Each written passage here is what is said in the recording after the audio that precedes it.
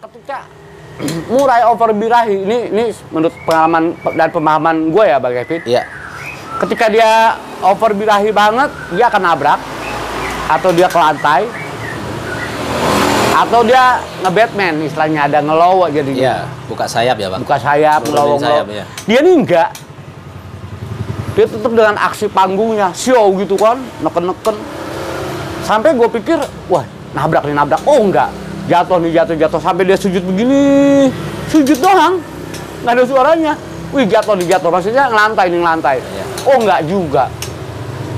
Dan ini mungkin akan lama gue simpen dulu kalau nggak mau. Iya. tadi bang Kevin bilang kan perubahan cuaca tempat itu sangat mungkin terjadi karena ketika kita menyeting burung ini kita lagi mencari faktor X sebetulnya. Eh, jangan lupa subscribe channel Arena 24, like, komen, share. Kok mantap sih Oh dong harus. Assalamualaikum warahmatullahi wabarakatuh Waalaikumsalam warahmatullahi wabarakatuh. Selamat malam, salam sejahtera untuk kita semua. Alhamdulillah malam ini kita ketemu lagi bersama Kevin Jaya Kecau. Bang Kevin, apa kabar Ya. Bang Kevin? Baik, Bang Jelik. Harus dong. Dan dalam video ini kembali kita ingin sharing-sharing bro tentang eh, perawatan eh, murai batuk khususnya yang di video ini murai batu muda. Udah. Dan ketika di video ini ada suara-suara yang agak berisik, mohon maaf karena kita ada di pinggir jalan raya, bro. Dan kita ada di kios Kevin Jaya Kicau Ya. di Jalan Raya Legok, Ya. Jalan Raya Rego. Jati Asih. Jati Asih. Dan di sini juga banyak eh, burung-burung prospekan. Dan di video ini gue kembali ingin eh, tekankan bahwa ini khusus kita bahas murai eh, batu muda. Jadi di sini gue ada burung bro. Gue ada burung baru satu kali mabung. Dan burung ini gue bawa dari Lampung. Minggu lalu pernah kita bawa ke lapangan. Cuma saat itu Bang Kevin nggak ikut. Jadi burung ini gue beli agak lumayan tinggi lah untuk burung muda itu. Ya. Mungkin nilainya di bawah 10 juta, di atas 5 juta. Karena di sana burung ini sudah bisa main. Ya. Begitu di sana gue lihat dibuka rodongnya, gue suka dengan burung ini. Makanya akhirnya gue bawa ke Jakarta pindah. Nah, awal gantang burung ini bro, ketemu musuhnya nggak mau bunyi, tapi gayanya luar biasa, gayanya mentalnya tuh luar biasa. Jadi macul-macul, sujud-sujud, nyari musuh, reaksinya luar biasa dia cari musuh. Tapi nggak mau bongkar nggak mau ngucap nggak mau bunyi. Udah selesai. Hari ini hari Rabu ada latber. Gua bawa lagi. Masalahnya masih sama. Ketika minggu lalu gua bawa ini ada gua rubah istilahnya rawatannya settingannya. Jadi sempet gua mandiin malam sempet gua embunin karena menurut analisa gua bro burung ini terlalu tinggi. Ketinggian lah ada istilah ketinggian. Jadi dia malah nahan gitu. Udah mau ke arah-arah birahi sebetulnya gua bawa nggak bunyi lagi. Gayanya masih tetap istimewa. Dahsyat deh ngeri ngeliat gayanya. Dan bahkan hari ini gue mainin di kelas dewasa. Kalau minggu lalu dua kali gue mainin di hari minggu. Tiket 80 dengan tiket 50 jadi jajannya minggu lalu dia 100 30. 130 ribu. Hari ini jajannya cuma 30 ribu tapi mainnya di dewasa. Dan dia nggak nggak mundur nggak bongkar juga. Akhirnya kita ngobrol nih sama Bang Kevin. Menurut Bang Kevin apa yang harus gue lakukan? Eh, kalau murai muda ya bang, seperti yang bang Culik ceritain waktu di Gantang, eh, ada dua kemungkinan bang.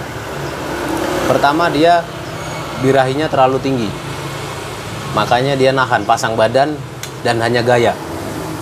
Karena birahinya udah kenceng, dia lebih cenderung untuk bertarung, bertarung secara fisik ya, lebih cenderung ke arah situ. Jadi dia enggan untuk mengeluarkan kicauannya. Pengennya berantem aja udah adu fisik. Nah, kayak gitu, Bang. Mungkin atau bisa jadi kemungkinan kedua karena dia pindah wilayah. Artinya pindah wilayah itu artinya dari Lampung pindah ke Jakarta. Itu Abang di sini posisi si burung ini di Jakarta udah berapa lama, Bang? Plus hari ini ya, mungkin Iya. udah sebulan seminggu lah.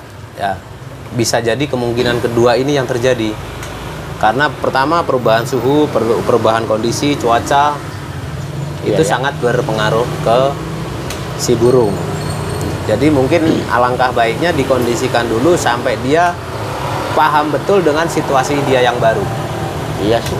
ya Bisa nanti jadi, baru abang coba lagi seperti apa nih kondisinya di gantangan karena memang pada dasarnya burungnya udah bagus jadi sayang kalau kita paksakan kita jor kita rubah-rubah kita otak atik ternyata masalahnya bukan di situ.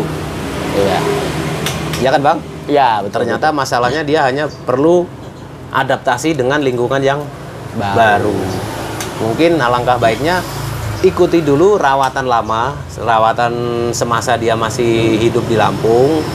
Terapkan dulu di Jakarta ini sampai dia kondisinya benar-benar eh, adaptasinya sempurna.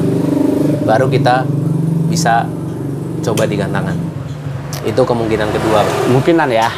ya, Ya. memang memang memang untuk menciptakan burung yang betul-betul mapan agak sangat sulit apalagi ini kan murai batu muda ya. Iya, Di mana gue secara pribadi bro, gue masih nggak yakin burung yang usianya masih muda ini eh, bisa stabil. Gue juga nggak yakin banget ke situ karena eh, sudah lama banget gue nggak nggak nggak rawat burung.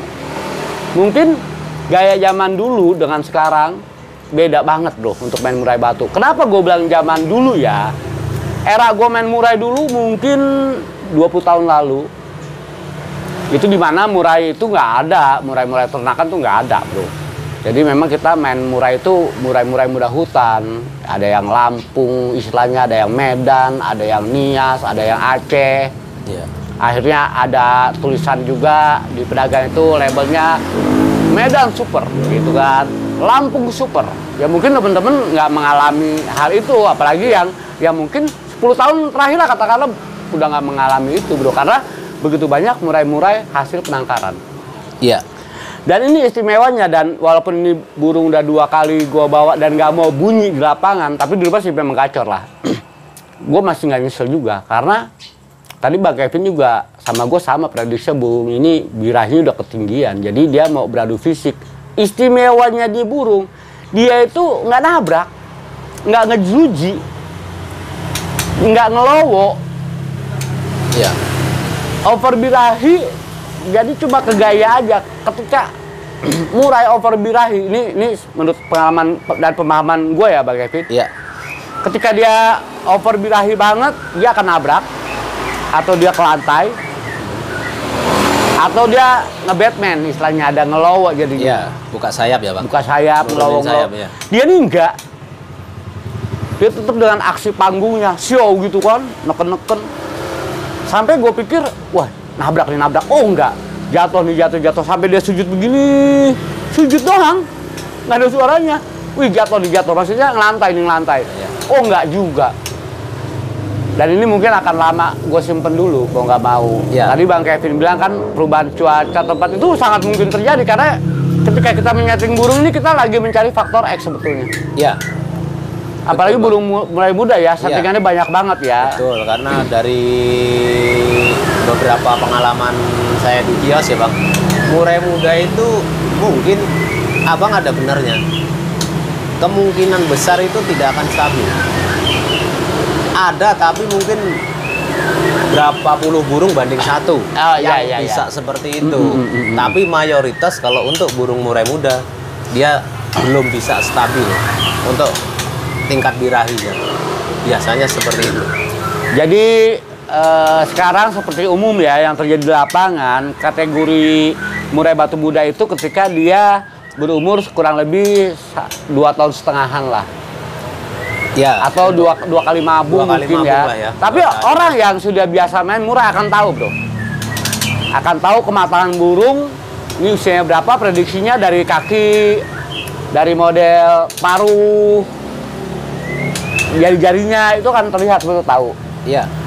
Dan biasanya orang nandain muda itu kalau kalau saya tapi ya, ini bicara saya pribadi pengalaman biasanya dari kaki, Bang. Kaki ya Lebih kaki itu lebih cenderung mungkin dibilang akurat sih enggak ya karena kita cuma berdasarkan feeling ya. Tetapi biasanya kalau garis kakinya itu masih ada di tengah, itu masih muda. oh iya Jadi iya. kadang-kadang orang kalau dia rawat dari anak ya, dari trotol ya, dia jarang mandinya, dia umur-umur satu tahun setengah itu udah kering dia. Iya Sudah sudah kering dan sudah punya bahasa sekarang itu deker kali ya. iya deker nyisik punya, nyisik nyisik punya sisik ya.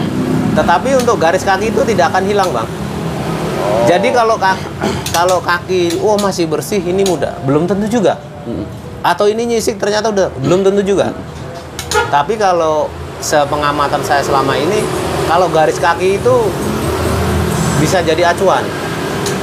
Garis kaki ketika dia punya sisik, eh, sisiknya udah tebel, tetapi garis kaki di tengah itu masih ada, itu biasanya masih muda. Karena kalau dia udah tiga kali mabung, dia udah akan turun. Posisinya tuh udah di dekat pergelangan dan di atasnya. oh Nah, iya, kadang-kadang iya. kita suka rancu untuk burung-burung yang kaki lilin, Bang. Kaki lilin biasanya kayak gitu. Wah, kuku apa kakinya masih bening. Biasanya agak susah. Tapi garis kaki nggak bisa dibohongin. Bang. Dan dan yang pasti gini bro, biasanya juga dia di bagian paruh bawah tuh belum gelap banget juga itu bisa jadi tanda juga. Itu juga bisa jadi belum mateng banget. Belum Tadi bang mateng bang Kevin ya. tuh ibaratnya bicara di sisi kaki tuh eh, kuku lah ya. Ya, kuku atau di per- eh, di kaki. Iya, maksudnya kukunya terlihat lah sisik ini Ya, kan. sisik di di kakinya itu ya. Mm, mm, mm, Eh, garis kaki ya. Mm-mm. Soalnya kalau dulu ada istilah eh, kaki kering dan kaki basah dulu ya bro ya. Ya.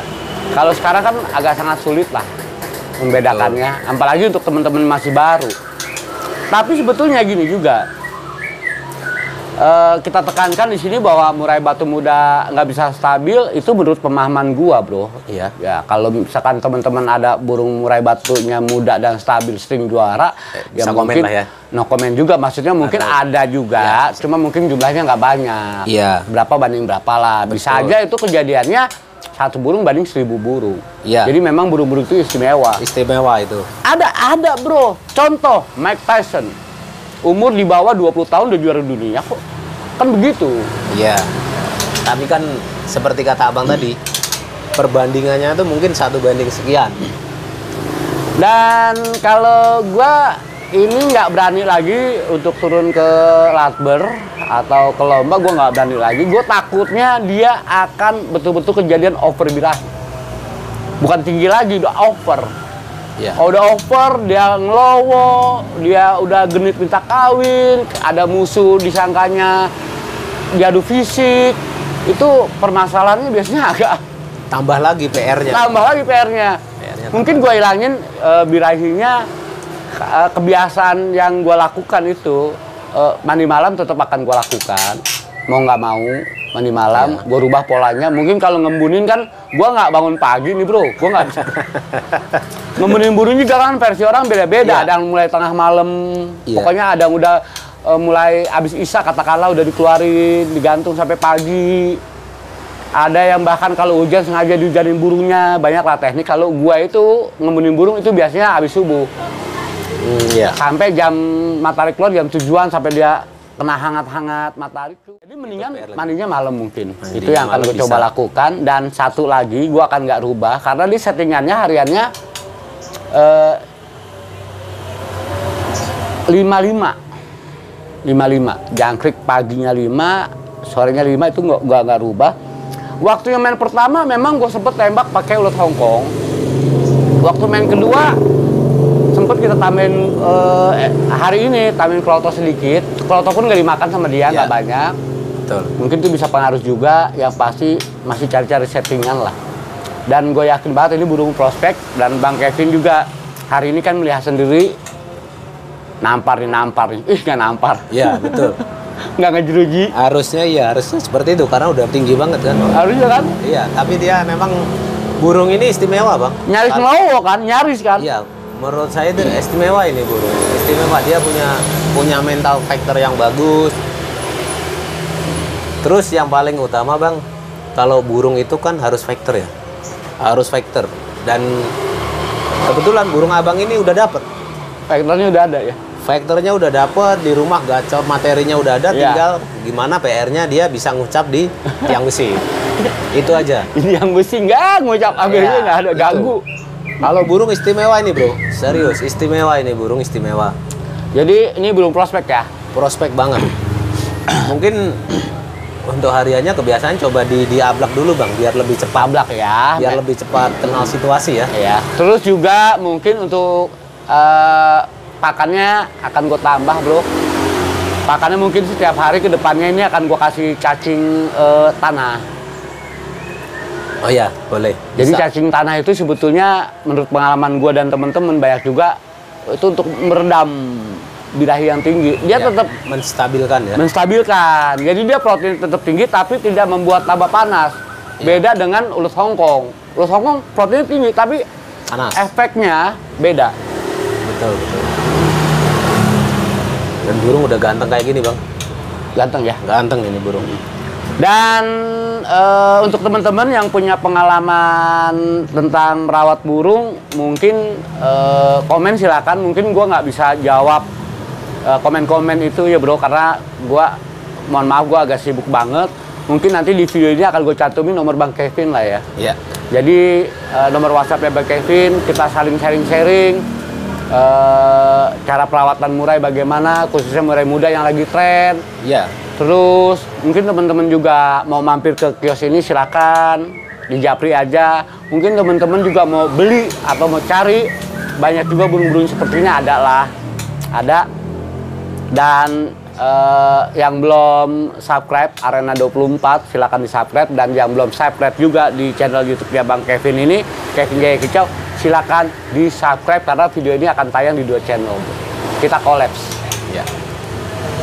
Setuju ya Bang Kevin ya? Setuju. Nanti di ini ya, direspon ya kalau ada WhatsApp ya. Siap. Ada Japri ya. Siap bang. Mungkin segitu aja video ini dan gue tekankan ini khusus newbie. Mohon maaf apabila mungkin ada kata-kata gue yang salah, dibenarkan aja. Dan mohon maaf jangan dibully bro karena saya juga masih newbie lah kalau untuk perawat murai-murai muda nih newbie banget, lebih senior Bang Kevin. Sama bang. Hobimu Bahagiamu. Arena 24 Gaspol.